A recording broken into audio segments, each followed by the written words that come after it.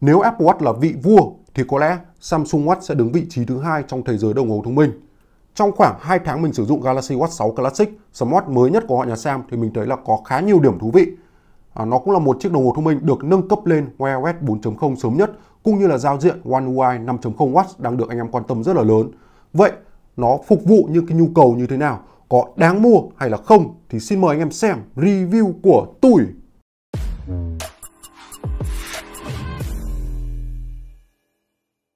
Mở đầu video, chúng ta cùng xem Galaxy Watch 6 có những nâng cấp thay đổi gì so với thế hệ trước. Cơ bản anh em có chip Exynos W930, xung nhịp cao hơn 10%, đồng nghĩa với nó sẽ nhanh, mượt hơn một chút.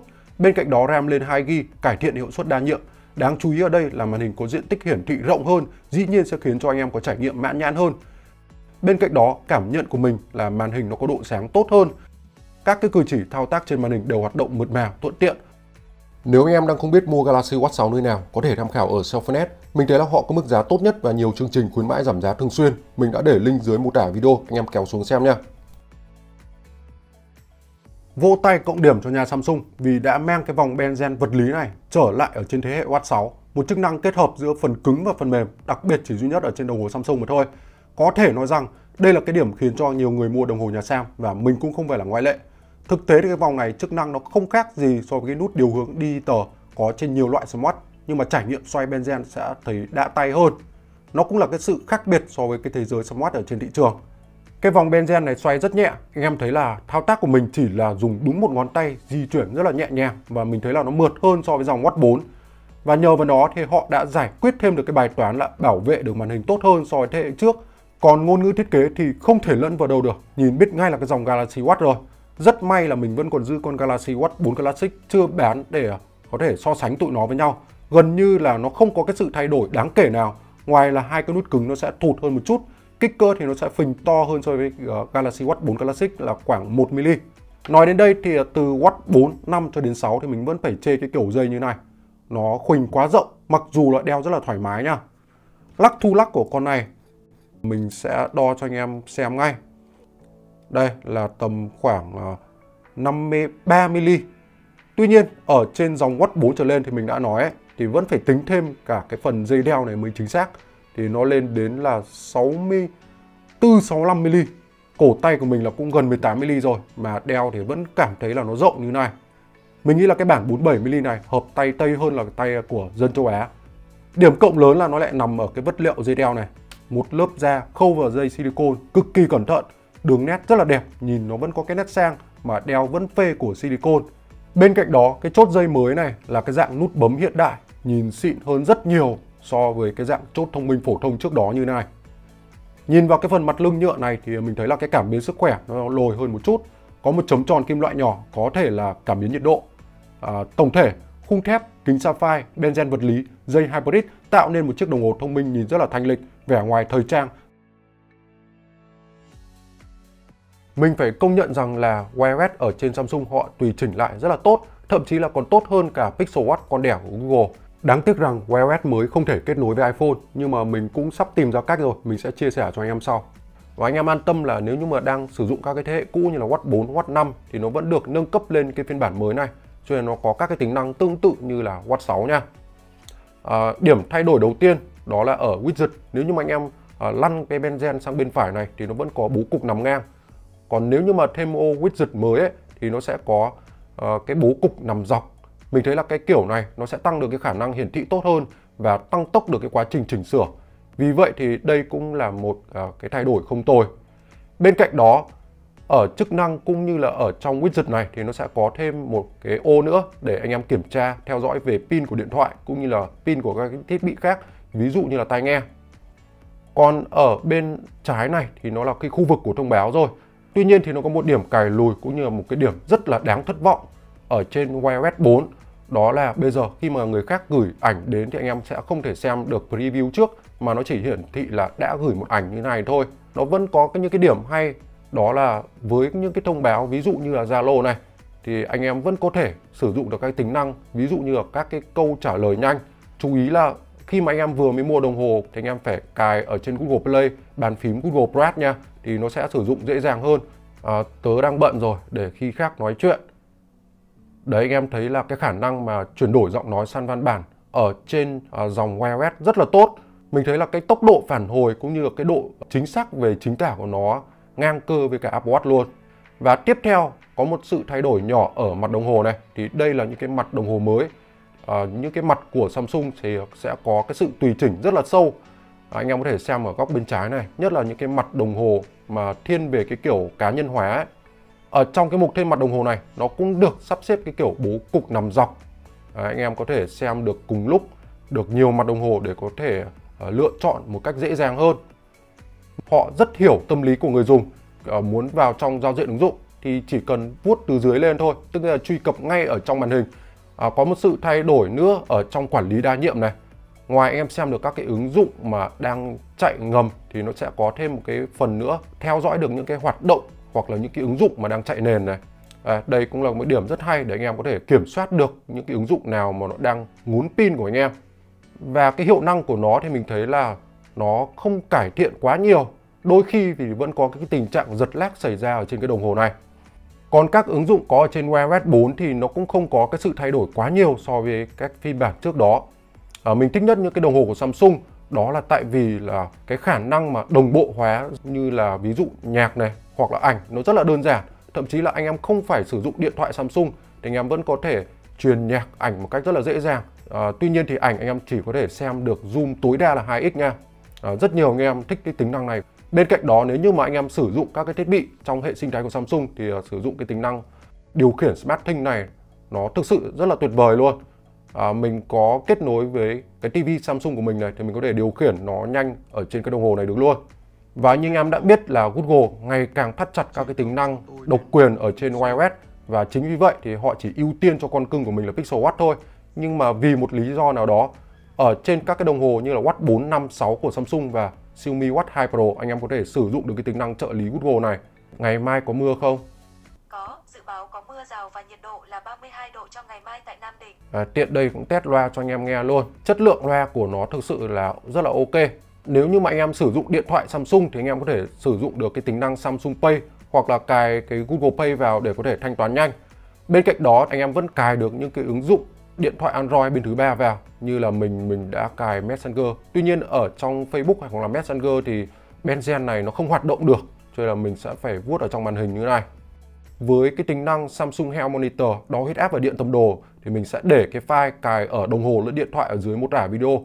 Um, tiếp theo thì nó sẽ có một uh, cái sự thay đổi nhỏ ở trong cài đặt đó là ở trong cái mục chăm sóc pin và thiết bị này thì anh em sẽ kiểm soát pin một cách chi tiết hơn những cái ứng dụng cũng như những chức năng nào mà gây tốn pin này, hoặc là anh em có thể biết trước được là cái thời gian pin còn lại sử dụng của mình là bao nhiêu.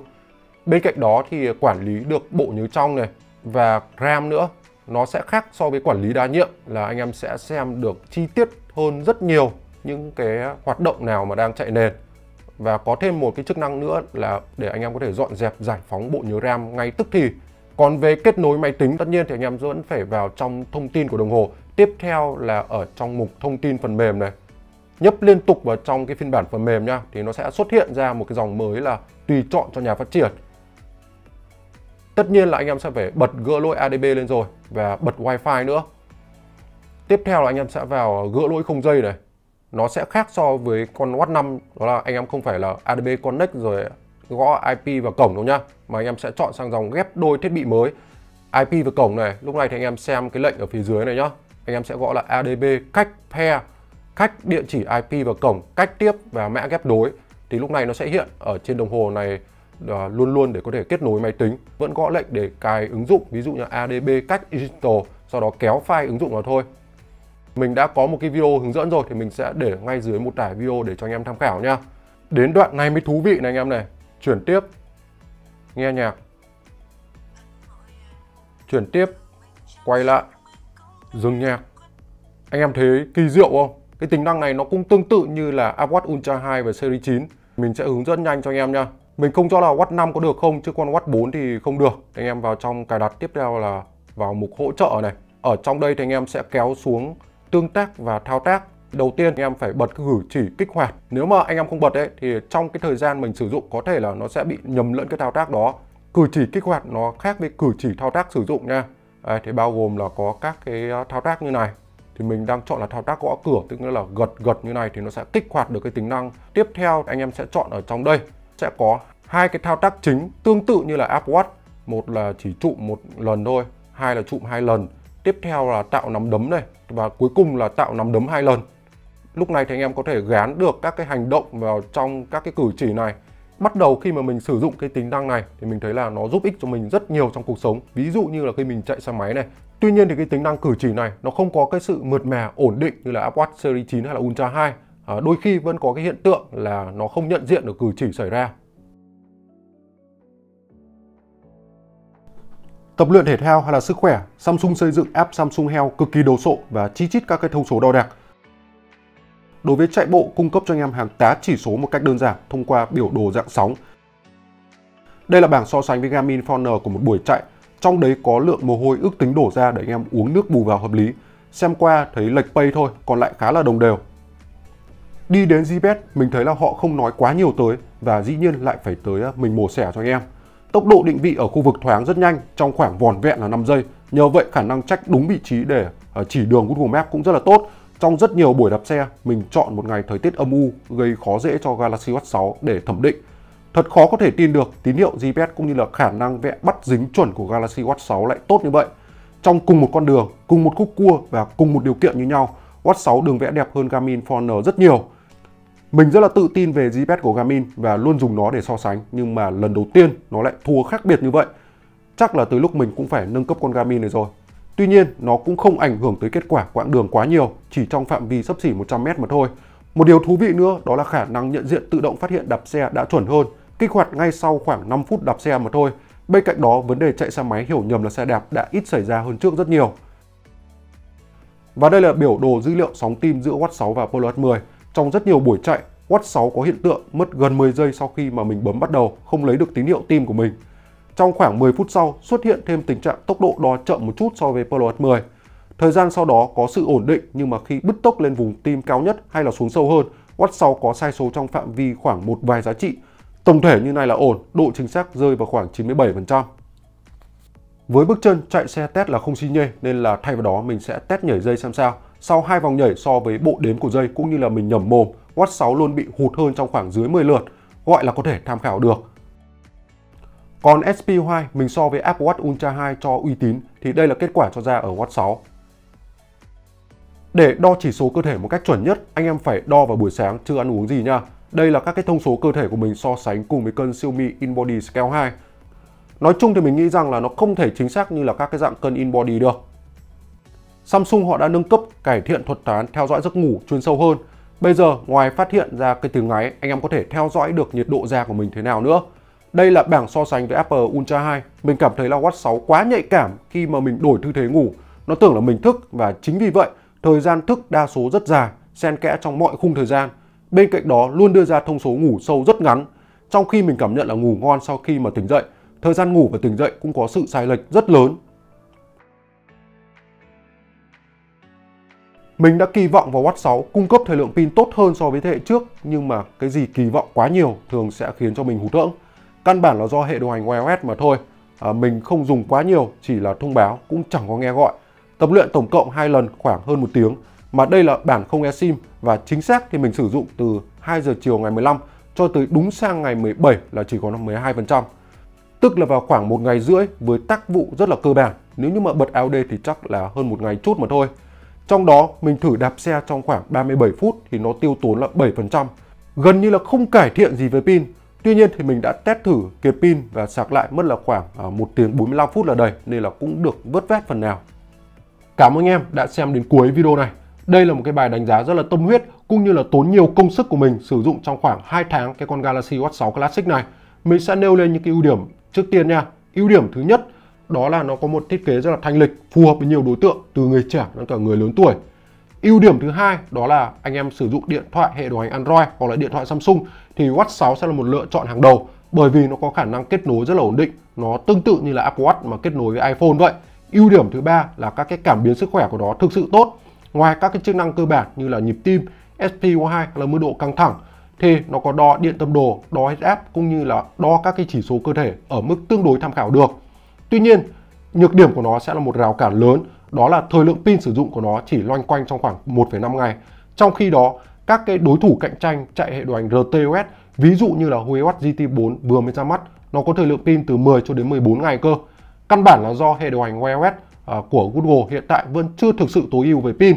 Vậy anh em thì sao? Anh em thấy Galaxy Watch 6 thế nào?